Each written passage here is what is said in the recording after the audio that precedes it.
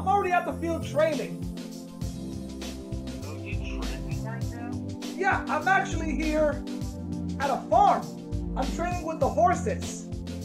That's pretty awesome to hear. I'm like right here with Ursus. Hey, Ursus! Ursus! Um, just hip hop. You got some extra apples? Yes, I got apples. Okay, well, I hate to say this. Um, Ursus was trying to climb on the tree to get one of these apples, and then what happened is it was windy outside, and then all these apples fall down from the trees and literally roll down to the lake. Yeah, so Ursus is not happy that the tree is empty without apples.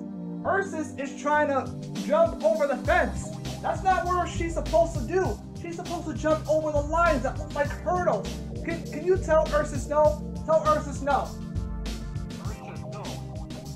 Hold on, hold on. Ursus, the man on the phone said no. Do not jump over the fence. You gotta jump over the hurdles. Whatever they are called.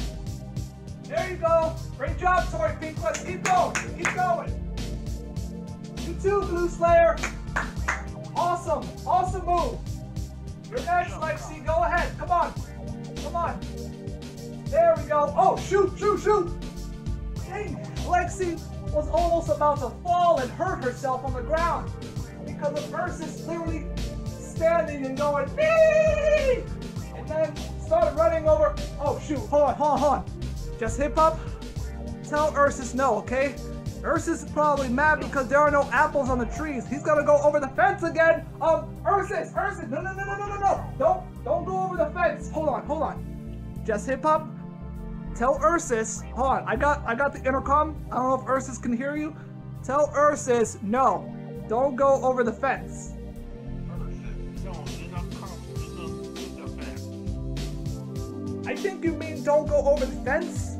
Hello, um, Lexi, Slayer, and Tori. Can you guys hear me?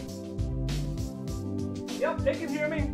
All right, um, can you guys keep an eye on Ursus? Like maybe take her over there and go take a nap or something. All right, there you go. Thank you. Yep. Now they're grabbing Ursus with the ropes, and they're gonna make her go take a nap.